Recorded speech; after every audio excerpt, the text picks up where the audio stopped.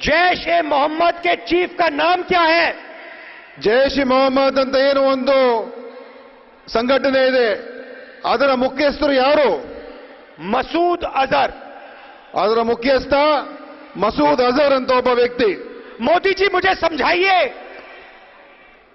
हिंदुस्तान की जेल से मसूद अजहर को पाकिस्तान किसने भेजा ಮೋದಿ ಅವರೇ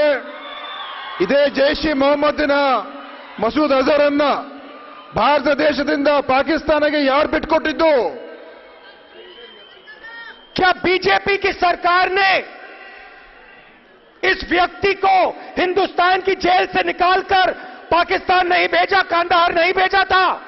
ಇಂದಿನ ಬಿಜೆಪಿ ಸರ್ಕಾರವೇ ಮಸೂದ್ ಅಜರ್ ಅನ್ನ ನಮ್ಮ ಜೈಲಿಂದ ಕರ್ಕೊಂಡು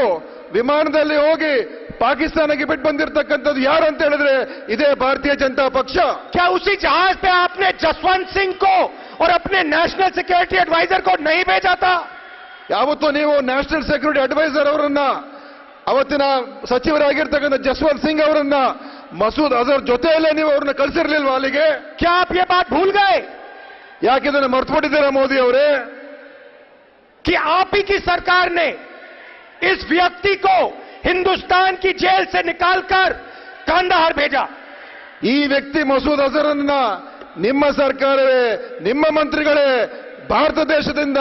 ಪಾಕಿಸ್ತಾನಕ್ಕೆ ಕರ್ಕೊಂಡು ಹೋಗಿರ್ತಕ್ಕಂಥದ್ದು ನೀವೇ ಮೋದಿ ಅವರೇ ये आप अपने भाषणों में क्यों नहीं कहते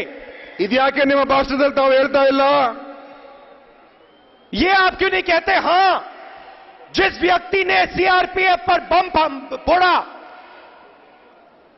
सीआरपीएफ के जवानों को जिसने शहीद किया,